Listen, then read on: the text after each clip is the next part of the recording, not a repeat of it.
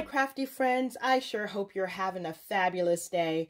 My name is Robyn Pitts with Sir Chauncey Rocco Creative Designs. I am very excited to welcome you to the Spring Prima Doll Hop.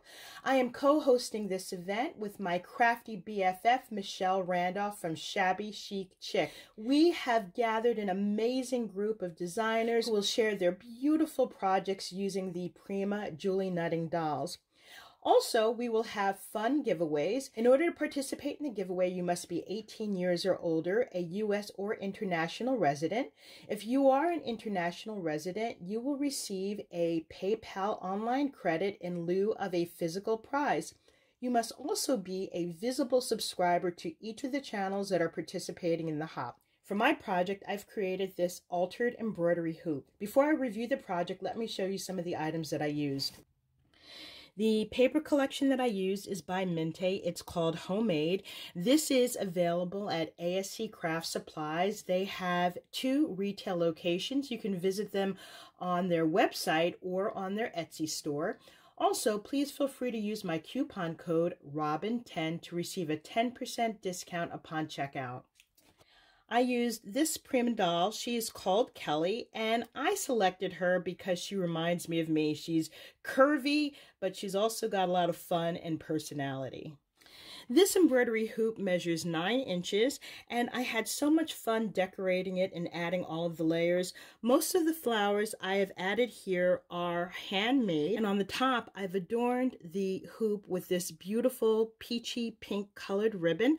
In the center I've created this flower. And I also used a Prima dye to create the background. On the left, I have this beautiful antique bronze dragonfly, and I've embellished it with this pearl.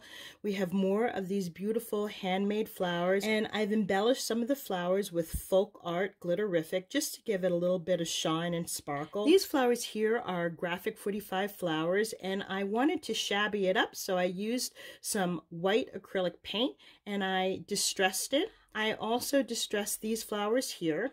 There's lots of fussy cut details. The Mintay homemade paper is absolutely gorgeous and I had so much fun fussy cutting and layering all of these roses here on the side.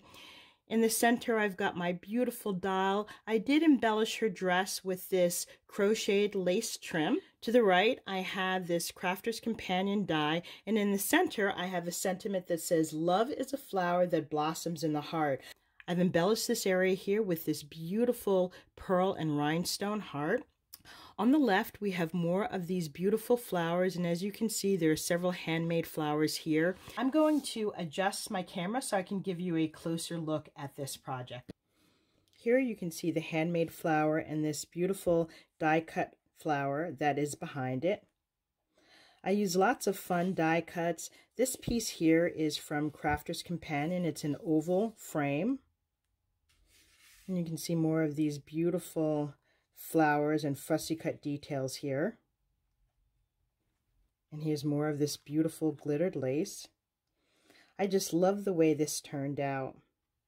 For this project, I did not do a tutorial because I have several videos on my channel that shows you how to create an altered embroidery hoop. I will be sure to include a link in the description box below. This concludes my review of my Prima Doll Altered Embroidery Hoop. Hopefully I've inspired you with new and creative ideas. If you like this video, please take a moment to give me a thumbs up, leave a comment, and don't forget to subscribe. Oh. Also, don't forget to visit the other participants in the YouTube Hop. Thank you so much for joining me, and I look forward to seeing you soon. Bye for now, and happy crafting.